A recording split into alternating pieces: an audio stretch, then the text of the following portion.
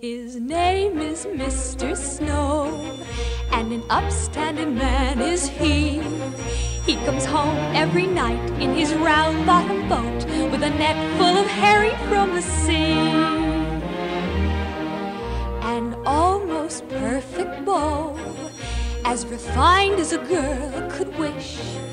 But he spends so much time in his round bottom boat that he can't seem to lose the smell of fish.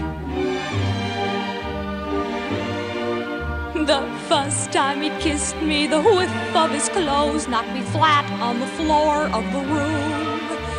But now that I love him, my heart's in my nose, and fish is my favorite perfume. Last night he spoke quite low, and a fair spoken man is he. And he said, Miss Pipperidge, I'd like it fine if I could be wed with a wife.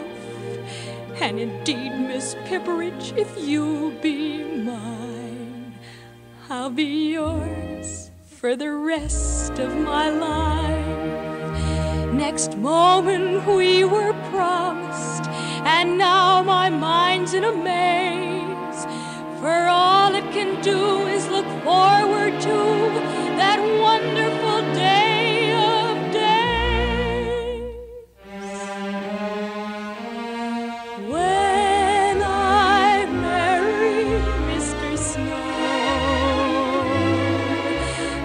Flowers will be buzzing with the hum of bees. The birds will make a racket in the churchyard trees when I marry Mr. Snow.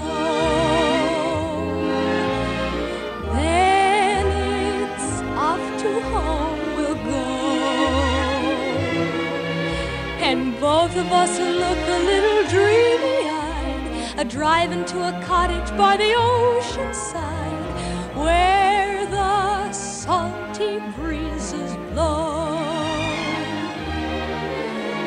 He'll carry me across the threshold, and I'll be as meek as a lamb. Then he'll set me on my feet, and I'll say, kinda sweet, Well, Mr. Snow, here I am. Then I'll kiss him so he'll know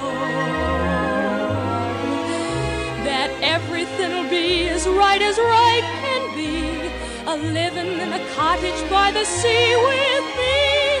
For I love that Mr. Snow, that young seafaring